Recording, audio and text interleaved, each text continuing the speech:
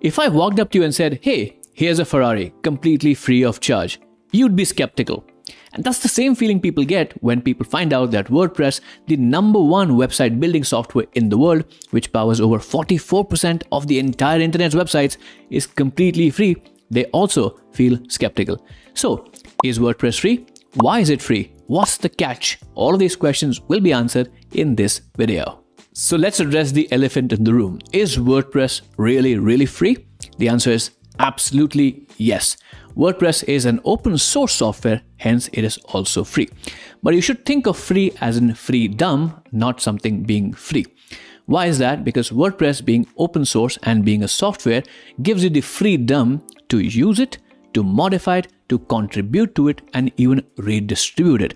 It's not like you're taking something, but you have freedoms to do something with the piece of software.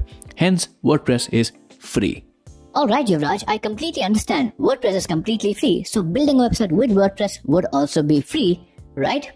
Well, technically that's not correct because WordPress, the software is completely free of charge, but there are other costs involved when building a website. I'll discuss this more in the later part of the video.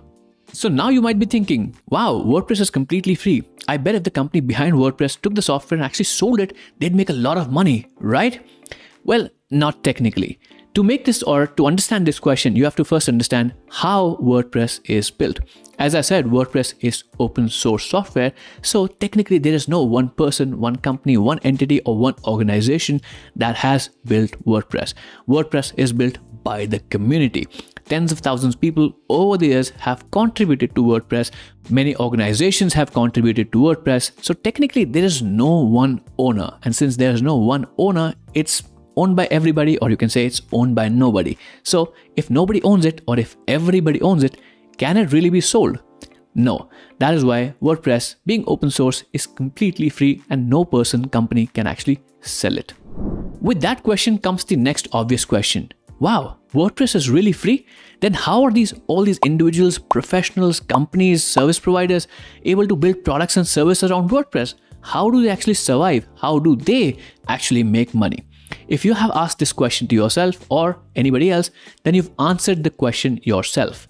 Because as I said, WordPress, the software is free, but companies, individual professionals, enterprises build products and services around WordPress and sell it to make money. I'll give you a few examples. WordPress, the software being free, also called WordPress.org or self hosted version of WordPress, is completely free. But the co founder of WordPress also has a company called Automattic, and one of the services they provide is a managed hosting solution where it is also called as WordPress.com, where you can go and sign up, create a website or blog completely free of charge.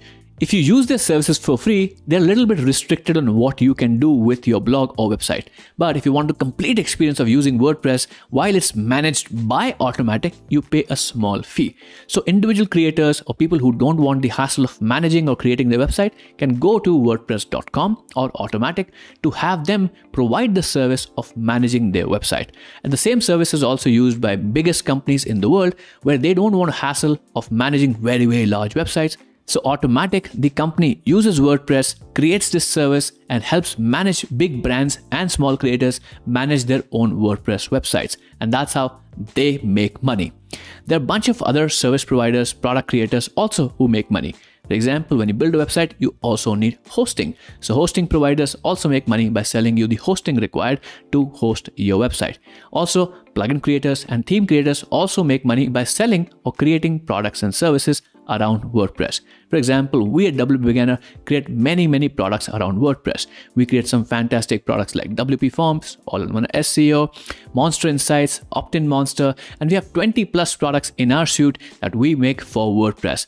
Most of our products are completely free to use, but if you want professional features, professional level of support, you can upgrade to the premium versions of our products, and that's how we make money with WordPress. So let me get this straight. WordPress is free. I can do whatever it technically what I like. I can build a website with it. I can create a product or service around it and sell it and make money.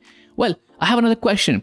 What about copyright? If I make a contribution to WordPress, does it fall under copyright? And what about the content on my website? Does it also come under copyright?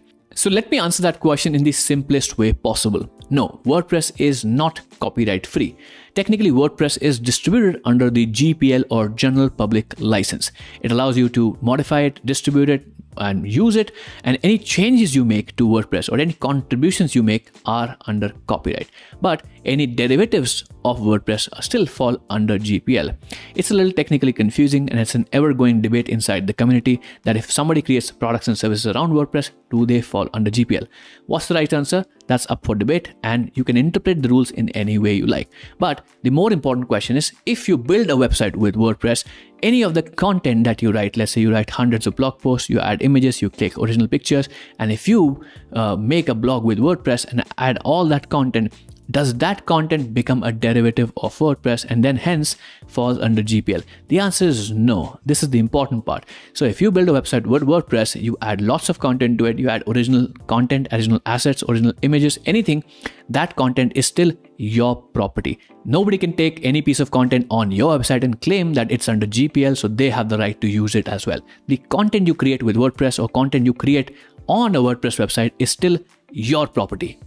Alright Yuvraj, I think I've understood everything. Just tell me what does it cost to build a website with WordPress? Well, I have to ask you a simple question first.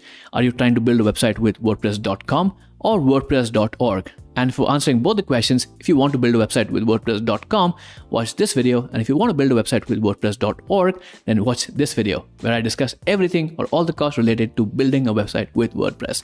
Thanks for watching. This is Yuvraj from WP Beginner, and I'll catch you in the next video. Take care.